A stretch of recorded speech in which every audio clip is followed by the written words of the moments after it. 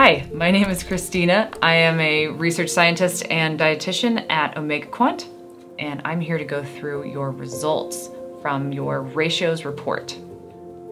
First, your omega-6, omega-3 ratio is the total amount of omega-6s, which are seven fatty acids, and your total amount of omega-3 fatty acids, which total four, in your dried blood spot. So this is a marker from your whole blood, not just the red blood cell membrane.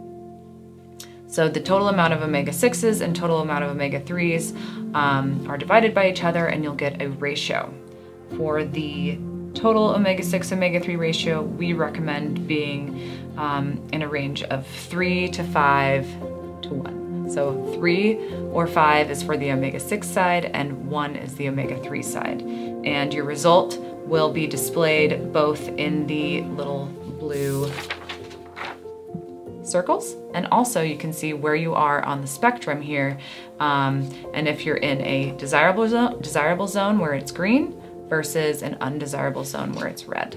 The other ratio on your report is the AA-EPA ratio, which stands for the arachidonic to eicosapentaenoic acid ratio.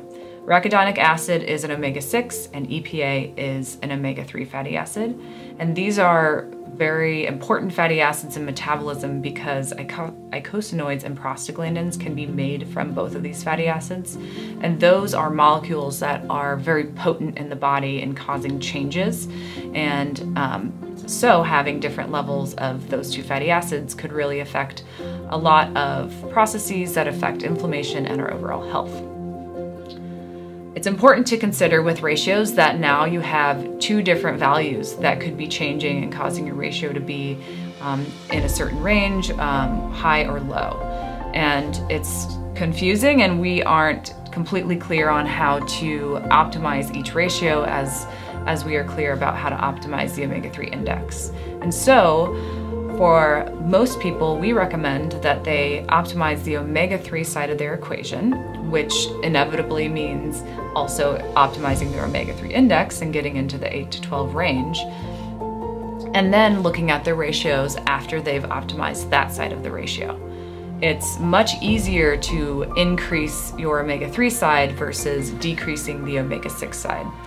And that's for a variety of reasons, but one of them is that the body just has more omega 6s in red blood cell membranes and in whole blood than it does omega 3s. And some of that we can change with our diet, and some of that we cannot. And so we can see much more dramatic change in the omega 3 side and see a lot of the benefits that you want um, if you just focus on that side of the equation. Typically, we think of the omega-3s as being the good side of the equation and the omega-6 as being the bad side of the equation. However, we have seen research that shows that higher levels of linoleic acid, for example, which is an omega-6 fatty acid, actually um, predict having better long-term outcomes in health, such as heart disease and, and diabetes. And so to us, it doesn't make sense to recommend lowering omega-6s for the purposes of um, optimizing your ratio.